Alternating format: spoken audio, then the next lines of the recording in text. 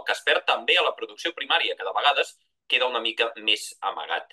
I per això ho fem amb l'entitat de referència aquí a Catalunya i amb la seva directora, aquí ja saludem, directora també de projectes, que és la Raquel Díaz. Raquel, molt bon dia. Molt bon dia. Escolta'm, ets doctora en sostenibilitat, també. Ja ho hem definit una mica, però ho dic també per la gent que vulgui també ampliar aquestes possibilitats de formació. Uh, tu directament vas estudiar, bé, vas, vas centrar-te en això també, en el malbaratament alimentari, oi? Sí, jo vaig fer la tesi de màster de sostenibilitat ja enfocada en l'entendre no? el malbaratament alimentari i ja després vaig tenir l'oportunitat de fer la tesi doctoral i la vaig també fer al voltant d'entendre una mica les pèrdues i el malbaratament alimentari, les seves causes no? I, i què en podríem fer per, per prevenir-ho. Per tant, també teniu aquest camp, eh? pels que vulgueu, també també és possible des de la formació acadèmica doncs, insistir en aquest camp.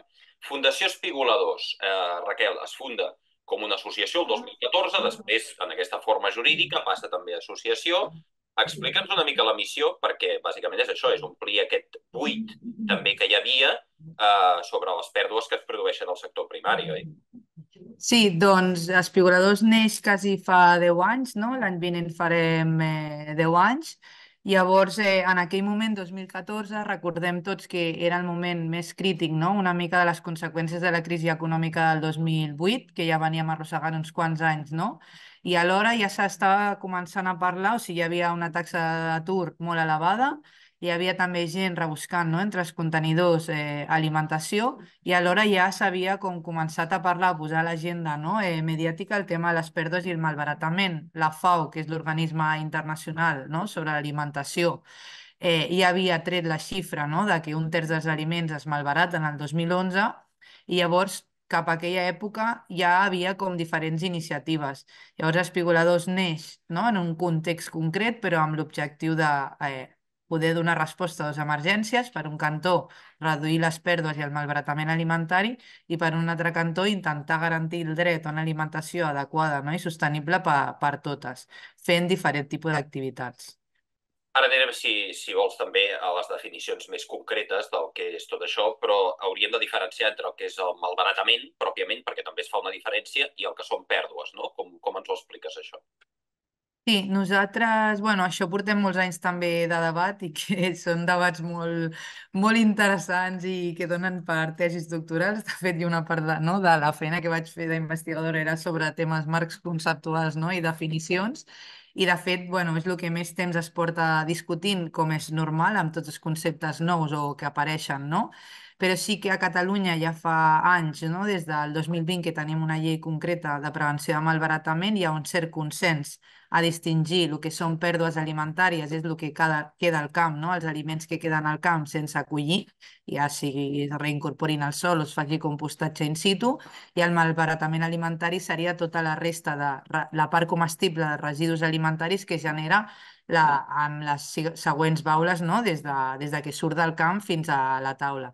Tot i això, encara hi ha certes eh, debats o inconsistències a nivell internacional perquè la FAO mateixa ho considera o si té com els límits amb uns altres baules, no? I, i per tant, jo sempre dic que per entendre una mica el concepte i si algú que està entrant no, a, en això, entenem malbaratament alimentari o pèrdues en un sentit ampli, perquè en anglès és food waste, no? que és residu alimentari, i per tant, depenent una mica de l'interès no? o la mirada que, que tinguem, doncs ja anem a mirar el detall de què estem incorporant o no a la, a la definició però en general serien aquells aliments que no, que no s'han acabat aprofitant per, pel seu objectiu inicial, que era alimentar les persones. A partir d'aquí, tot, tot, el que, tot el que els detalls i diferències que, que vulgueu.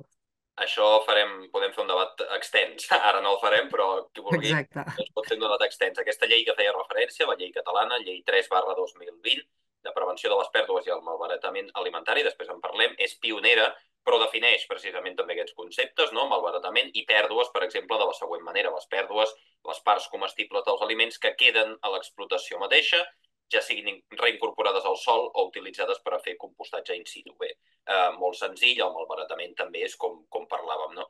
I, I, evidentment, a nivell internacional, això que deies, eh, d'una banda, el food waste, aquest, eh, entès com a residu, potser s'entén més com a com a residu i també com a tots els recursos que s'han utilitzat, diguem-ne, per, per produir aquest aliment no? a nivell europeu.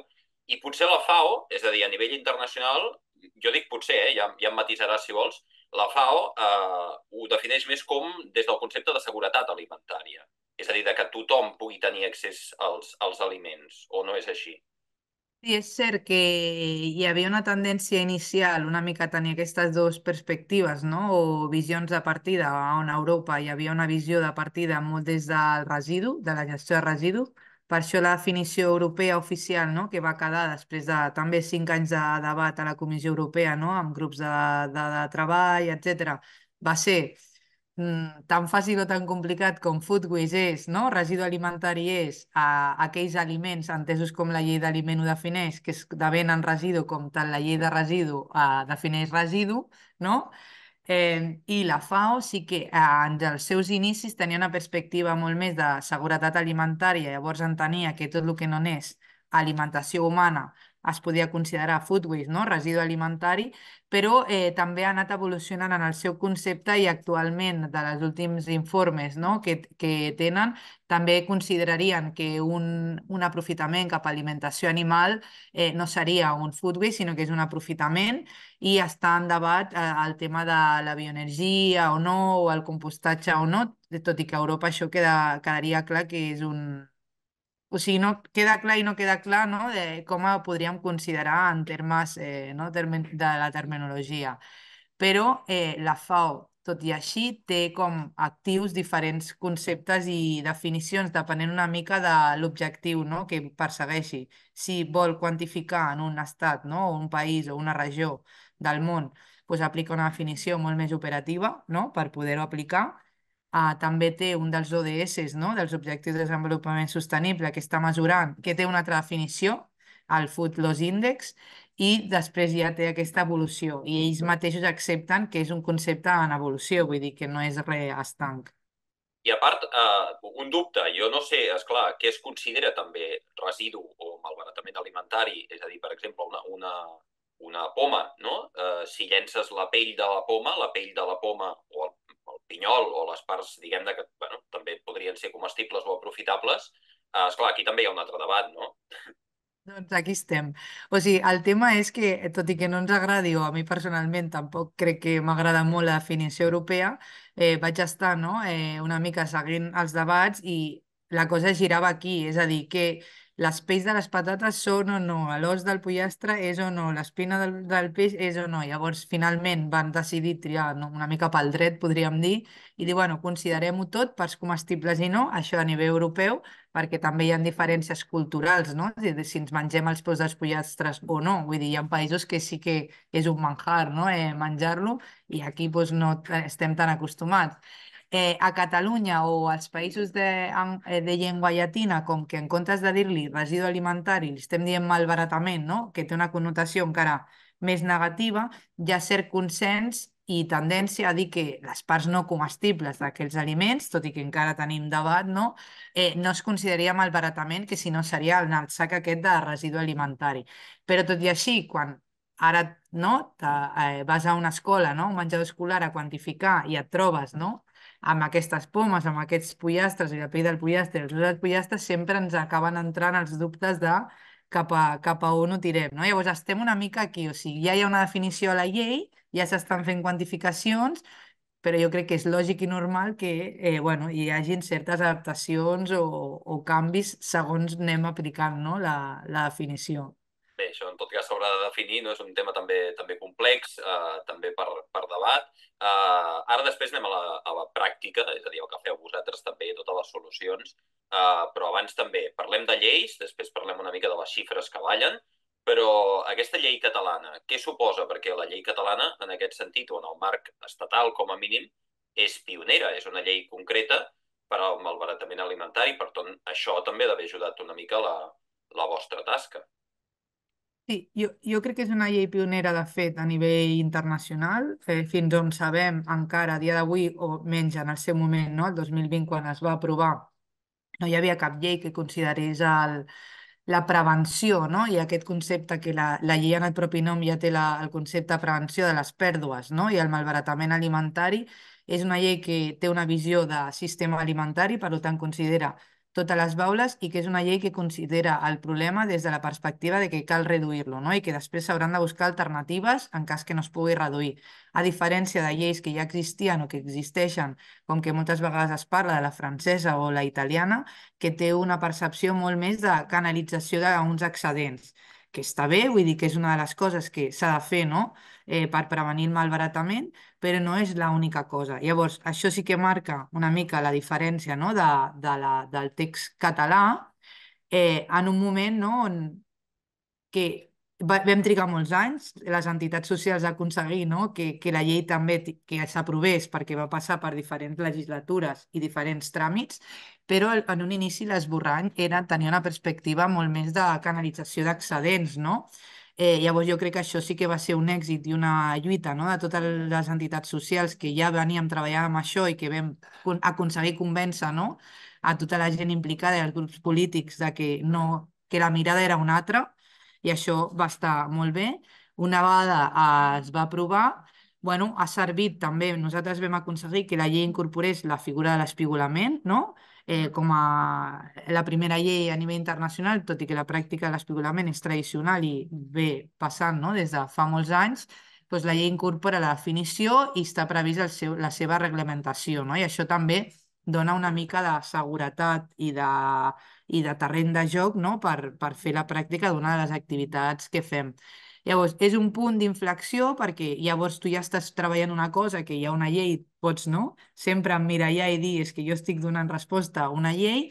És cert que es va aprovar una setmana abans de que ens confinessin i que per diferents motius encara no tenim un reglament en marxa. I ha passat quatre anys. Acabem, també falta un, que any que ve, en principi, no? Es promet que, que això es desenvoluparà.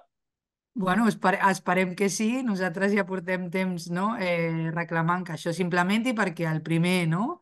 La primera olejada, evidentment ens van confinar, ningú pensava en la llei de malbaratament, després quan ja la cosa va començar a tornar una mica a la normalitat, jo crec que ja tots esperàvem una mica no? que això es comencés a aplicar, de fet ja hi ha projectes que apliquen part de la llei, ja s'han tret ajuts no? per donar resposta a la llei, evidentment que s'estan fent coses, però sí que hi ha cert ara, o almenys nosaltres com a entitat social creiem que és necessari que el reglament surti perquè moltes de les obligacions que contempla la llei tothom i tots els operadors de la cadena alimentària entenguin que és obligat tenir un pla, que és obligat quantificar, vull dir que no és una cosa d'allò que hi va quedar ja en aquell text, no?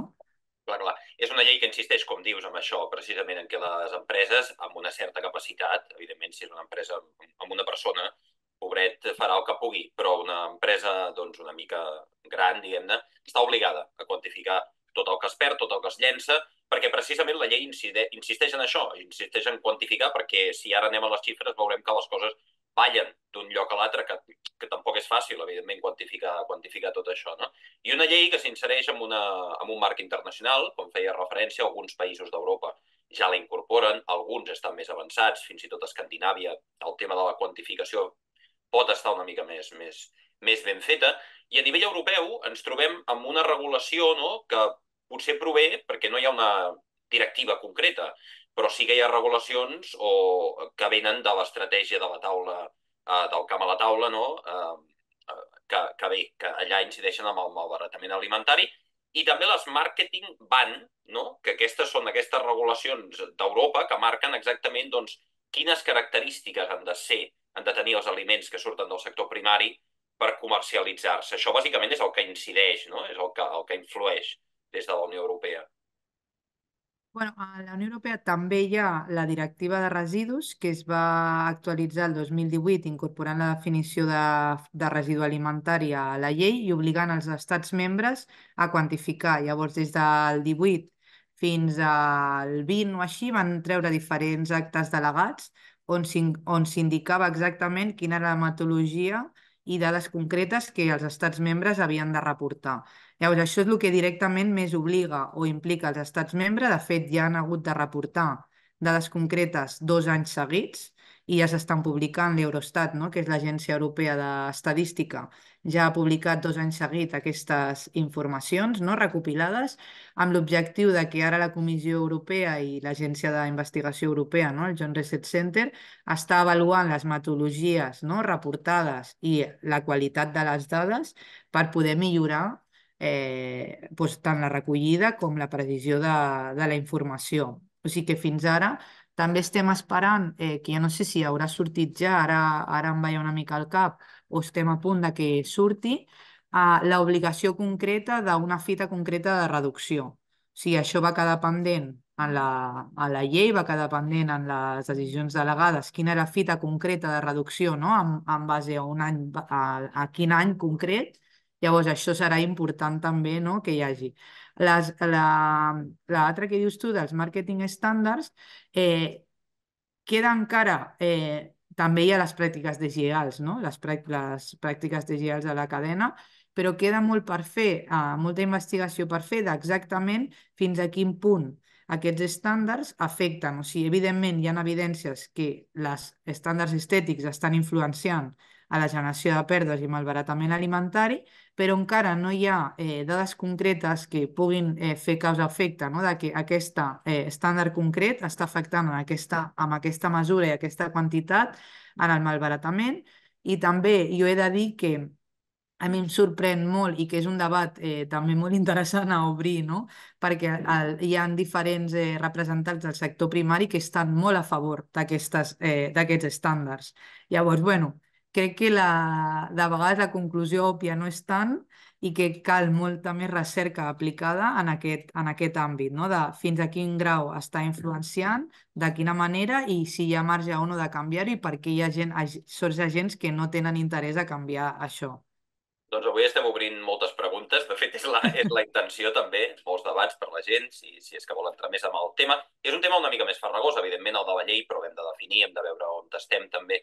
I el que anàvem, les xifres. D'entrada partim d'aquesta xifra general, màgica, de la FAO, l'Organització de l'Agricultura de les eh, Nacions i l'Alimentació de les Nacions Unides, que treu a l'any 2011, després d'aquest eh, estudi, estima a nivell mundial 1.300 milions d'aliments al món es perden, es perden o es malbaraten, no? i fa aquesta definició, desgrana una mica per sectors, en aquells moments situa la producció primària, és a dir, el que es perd al camp en un 11%, i el que es perd a les llars més, en un 53% en aquell moment. Aquestes xifres varien de país a país i s'han anat fent estudis. És clar, tots aquests estudis, eh, per exemple, aquest de la FAO, és una estimació, hem d'entendre-ho com una estadística, no? a partir de, suposo, a partir de, d'alguns mostrejos, igual que els que feu vosaltres, que després hi entrarem. O sigui, el que passa, si fem una revisió de totes les xifres comunicades no? des d'aquella del 2011, de fet, prèviament ja hi havia estudis sobre pèrdues i malbaratament alimentari, passa que no tenia aquesta rellevància, no? Llavors sí que hi ha una revisió de diferents xifres reportades no? amb, amb una evolució dels anys. Què passa? Que quasi totes les metodologies aplicades en base a revisió de dades secundàries, què vol dir? Dades ja disponibles pels organismes estadístics. Què passa? Que llavors les definicions que podem entendre, no? doncs si aquí a Catalunya hem dit que la part, les parts no comestibles no la considerem, no hi ha cap estadística que recollir eh, no? quina és la part no comestible de, de fet quan pesa la, el pinyol d'un préssec, no? per exemple. Podria, poder, o sigui que ja quan aterres vas a aquestes coses concretes. No?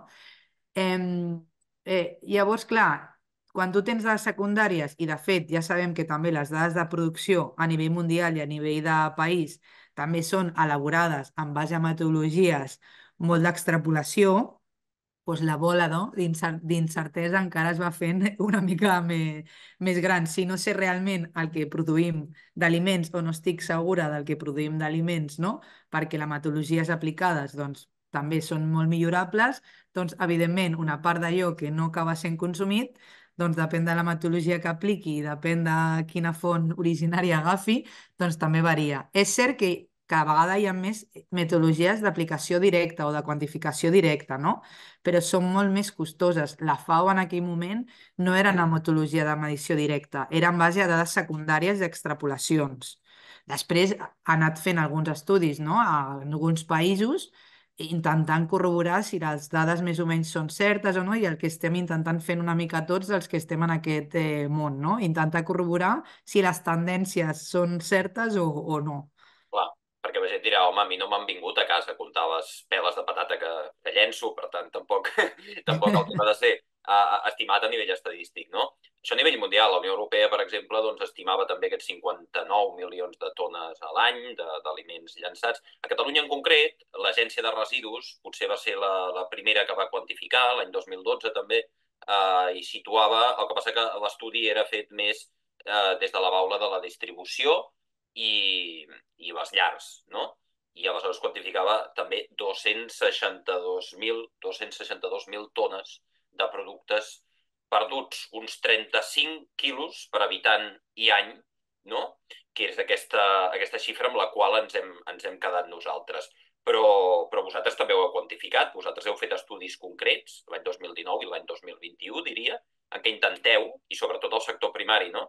Uh, què és el que es perd. Explica'ns una mica com, també com procediu o com ho feu. Sí, jo crec que sobre, uh, vull com fer un, també una esmena a la famosa xifra aquesta ah, sí, de 35. No, perquè dic que crec que va servir molt i que en aquell moment va ser molt pioner no? a la metodologia perquè es van quantificar residus, vull dir, bosses no? a les plantes de tractament dels residus orgànics i per tant sí que eh, era molt orientativa de, de la tendència, però crec que la xifra ja té més de 10 anys no? i que és necessari també seguir reportant i jo crec que també s'estan fent esforços no? per, per actualitzar-la, però que és una orientació, no? perquè podem variar des de 35 a si anem a veure els recents estudis a nivell europeu, potser són 70 per, per habitant i any. Llavors, ostres, el marge és molt ampli, no? és quasi el doble. Eh, llavors, nosaltres, en aquí, a nivell de pèrdues i sector primari, també, mm, bueno, falta molta informació. De fet, a Europa no, no hi ha estadístiques sobre el que queda al camp. Al món eh, també costa molt, només hi ha una experiència a nivell internacional de WWF, no? que va fer una estimació del que queda al camp. Llavors nosaltres el que intentem és a través de les nostres activitats no? de recerca, però també de l'espigolament, és per un cantó intentar esbrinar el per què, no? quines són les raons d'aquells aliments que es quedin al camp, quines són les causes, no, no només immediates, no? que immediat pot ser doncs, que aquell carbassó és molt gran, però intentem anar una mica a l'arrel i aplicar una metodologia no? com d'escala de, de causes de, val, i per què és molt gran, doncs, i per què no te'l compren, així com intentar aprofundir, no? i de fet hem fet un arbre no? de causes bastant eh, extens que intentem ara anar recollint informació no? i que en base a diferents anys puguem donar conclusions una mica més no afinades que dir es perd per temes d'oferta i demanda, no? que això és en conclusió no? el general, però també estem en diferents projectes i de fet un projecte europeu que va començar eh, fa un any definint una mica a nivell en el context europeu eh, què s'entén per pèrdues alimentàries perquè no hi ha encara la definició oficial eh, i com s'haurien de quantificar i proposant diferents metodologies i aplicant-les de com s'han de quantificar les pèrdues. De fet, ara hem estat aquesta tardor quantificant les pèrdues en el sector dels cítrics, col·laborant també amb WWF no? i aplicant diferents metodologies a camp in situ, no? destriant eh, taronges o mandarines no? i quantificant doncs, les que sí serien comercialitzables, les que serien comestibles però no comercialitzables, les que no serien ni comestibles ni comercialitzables. Llavors intentant aportar una mica més de, de llum no? o de detall en aquest eh, genèric, no? en aquest un, un terç de l'alimentació o el 15% es queda al camp, vull dir, què vol dir exactament eh, això? Tot això, evidentment, podem entendre que pues, és molt costós no? a nivell de recursos humans i de temps i per tant sempre s'intenta aplicar metodologies que pugui després extrapolar i contrastar no? en base a, a dades estadístiques. Sempre serà una combinació de, de mètodes, mai tindràs un mètode únic que, que et donarà la resposta. Veiem que, clar, evidentment hem de treballar tots aquests mètodes i totes aquestes coses perquè molts encara no estan, no estan establerts, no? Eh, vosaltres espigoleu, el que dèiem, per qui no ho sàpiga, doncs l'espigolament és una pràctica que s'ha fet sempre, és a dir, per aprofitar doncs, tot allò que, que queda al camp després de la collita. No? Vosaltres el que feu és anar a diferents camps i precisament fer això, agafar tots aquells aliments que els productors mm, doncs, no aprofiten d'entrada eh, i en base a això també feu aquestes estadístiques. De fet, eh, crec que l'any aneu a més de 200 camps. Podem parlar de gairebé, gairebé un camp per dia. No, potser no arribeu, però gairebé un camp, un camp per dia. Quines són aquestes causes, entrant una mica més eh, de que els aliments eh, a nivell general es quedin al, al camp, que observeu vosaltres? Sí, doncs nosaltres, no, en base a aquestes observacions i també diferents entrevistes i l'experiència una mica acumulada, no, també dels anys, trobem que hi ha diferents dimensions que, que li diem, no? perquè cada dimensió després té com les seves... Eh... Sí, un dels motius o que expressen més és que no em surt a compte acollir-lo, no? És a dir, pel preu que rebran o que percebran els pagesos per aquell producte, és el cas concret o més, més exemple més clar són les mandarines i els cítrics de les Terres de l'Ebre. No? Ara mateix hi ha camps i camps i hectàrees i hectàrees d'arbres plens de mandarines i taronges que s'estan quedant a, a camp que són boníssimes, però que ningú, o sigui, no els hi surt a compte invertir la mà d'obra no? i els recursos necessaris per collir-ho, perquè el preu que els hi pagaran per aquells cítrics no compensarà ni tan sols la recol·lecció. Ja no direm pues, el, el, el tenir cura no? durant els mesos previs d'aquells eh, arbres. Llavors, aquí eh, pues, hi ha moltes fluctuacions, hi ha un mercat globalitzat, no? On els aliments i, i la, es compren no? i es venen eh, en un marc global, no hi ha una perspectiva no? de sobirania alimentària eh, amb una aposta ferma de, de comprar producte de proximitat i pagar un preu just. I, per tant, una de les raons és no em paguen un preu no?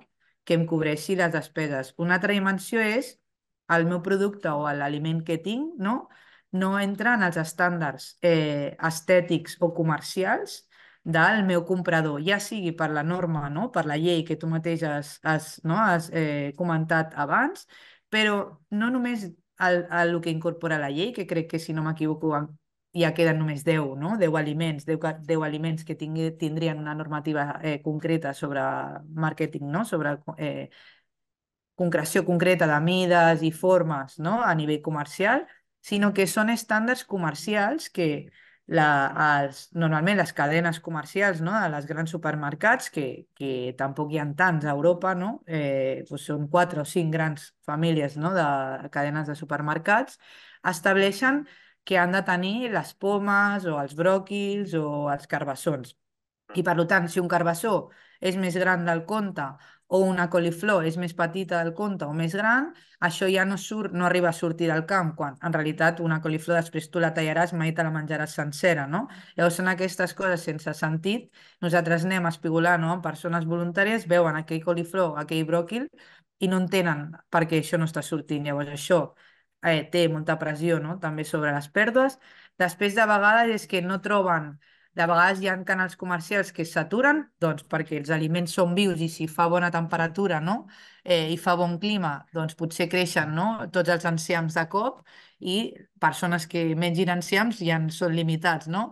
Llavors, doncs, evidentment, hi ha certs canals comercials que en aquell moment es saturen i la pagesia, el pagès, la pagesa en concret, no té preparat, com és obvi, un canal alternatiu en aquella, per aquell excedent puntual. No? Una cosa és un excedent que passa recurrentment i una altra cosa és que puntualment tu tinguis més producció perquè, per lo que sí, climatològicament, eh, ha vingut així i no ho trobis. Llavors, doncs no estan preparats aquests canals alternatius no? o aquestes alternatives de, de centres de copi, no? que on puguis després distribuir cap a altres llocs. Després també les estructures de les explotacions agràries moltes vegades dificulten, no? Si tu ets una explotació petita o mitjana on tens els, els equips tècnics no? que tinguis, tu potser necessites, et paguen més per collir un, no?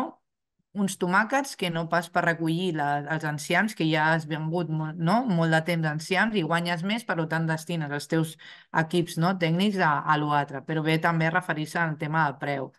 I per últim, de vegades pues, són eh, temes d'infraestructures, no disposar pues, de les infraestructures adequades, no? de temes de canes de rec o malles o no, tenir malles o no antipedra, vull dir, que després ja entren altres factors, evidentment, més tecnològics o d'infraestructures, no? tant internes com externes, al voltant de l'explotació, que poden influenciar.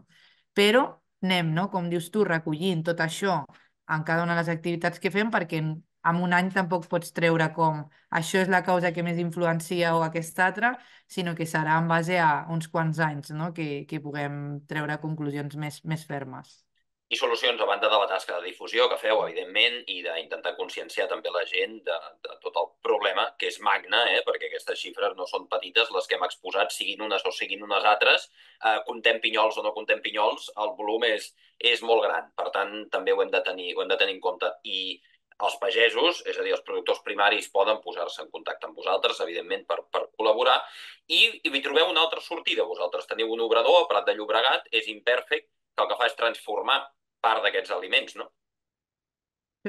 Des de ben inici, la idea dels espigoladors era recuperar la pràctica de l'espigolament, sensibilitzar i fer projectes no? de comunicació i sensibilització al voltant del problema, però també intentar eh, reduir les pèrdues i el malbaratament a través de la transformació no, d'aquests productes, oferint oportunitats laborals a persones en situació vulnerable. I això ho fem amb la nostra empresa d'inserció, és Imperfect, on elaborem conserves vegetals, pues, salses de tomàquets, marmelades, patés vegetals, amb tot d'aliments excedents no? que, que no entrarien al, al circuit comercial, majoritàriament en aquest cas sí que acostuma a ser per temes estètics, no? Moltes vegades ja estan collits o estan destriats a la cooperativa, no? A la primera cooperativa on arriben, i per ser més petits o més grans o tenir una taca concreta, allò no seguiria no, arribant a les persones. Llavors nosaltres oferim no, aquesta possibilitat de transformar-ho, ja sigui sota la nostra marca o sota la marca de la cooperativa o del pagès concret que està a disposició no, de fer amb la seva etiqueta i el seu logo concret, una elaboració concreta i eh, que això arribi a, a ser, no? eh, que arribi al mercat i que arribi a, a les persones. Pensem que darrere de cada producte hi ha també, si parlem de clima, si parlem d'altres afectacions, recursos destinats. Hi ha aigua, hi ha el càlcul que es pot fer també d'emissions, per exemple, de carboni, es calcula o es calculava 1,93 quilos per aliment, depenent eh, d'emissió de diòxid de carboni. Bé, tot això hi és darrere el producte, per tant no es tracta només de llançar una poma, sinó que es tracta de llançar tota la feina que s'ha fet abans i tots els recursos que, que s'hi han invertit. Espigolador ja té una, una, una tasca, un, una vida llarga, diguem-ne. Bé, 2014, farà 10 anys, us felicitarem l'any que ve, però diguem-ne que tenim una estructura, una bona estructura. Quins passos, per últim, Raquel, falten o què, què més falta eh, per, per intentar anar cap a les solucions d'aquest problema gran?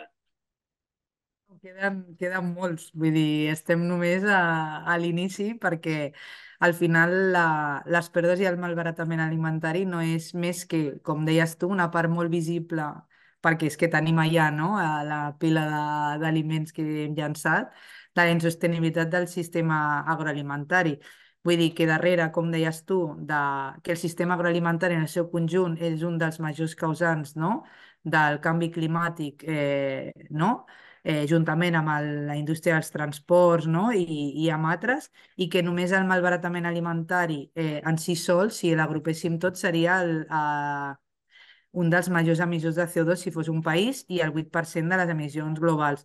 Per tant, queda molt, eh, queda molt per prevenir, per entendre no? què és el, el, el, les pèrdues i el malbaratament alimentari, però no només, sinó que això ha d'anar acompanyat d'altres pràctiques, no? a fer els sistemes alimentaris més sostenibles, eh, si no, no, no té cap sentit. Vull dir, al final el malbaratament és una palanca més, o prevenir el malbaratament és una palanca més, que ha d'anar acompanyat de que tothom tingui accés a una alimentació sostenible, saludable, no? i en quantitat suficient, que al territori no? eh, es valori la nostra pagesia no? i que es valori i que es pagui un preus justos, que hi hagi no? eh, o sigui, aquesta distribució justa de, del valor no? o de, del benefici, vull dir que ha d'anar molt més enllà i per això jo crec que s'està treballant des del de, món no? de les entitats del malbaratament alimentari amb moltes altres entitats no? que treballen des de la sobirania alimentària i l'agroecologia per fer projectes conjunts i que la, que la bola de neu sigui una mica més, més gran. Podeu consultar al web tota la feina que fa Espigoladors, espigoladors.cat, fins i tot també, si vols, no sé si és disponible la teva tesi doctoral en el seu moment i tota la feina que feu, els estudis... Que tingui també. temps a llegir-la, que la pot llegir. Qui tingui temps també la pot llegir i tots aquests estudis que fa Espigoladors també sobre tot això que es perd. Fins i tot una guia recent eh, bueno, sorpresa, la COP28 guia per la transformació dels sistemes alimentaris que van elaborar més de 7, uh, 7 ONGs en concret, um, i que bé, intenta fer també aquesta guia pels diferents estats per prevenir totes les pèrdues i el malbaratament alimentari, que és el que parlem avui, i que esperem que a poc a poc, perquè és un problema molt greu, es vagi solucionant. Raquel Díaz, uh, directora, com dic, també cap de projectes d'aquí de la Fundació Espigoladors. Gràcies per intervenir avui. Gràcies.